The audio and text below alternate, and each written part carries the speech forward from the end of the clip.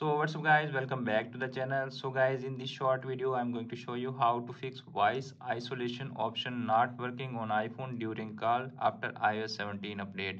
If you're also facing this kind of issue in your iphone keep watching full video. In this video i will show you how you can fix that.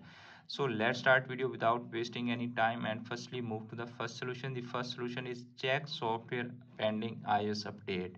To check that open iphone settings scroll down tap on general tap on software update.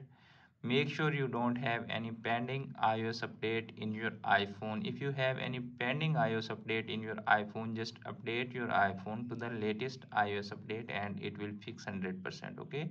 If that method not working for you then move to the next solution. The next solution is open iphone setting okay?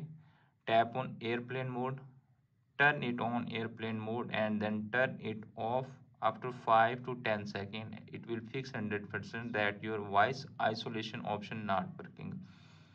Okay if that method is also not working for you then move to the next solution. The next solution is open iphone settings. Tap on general.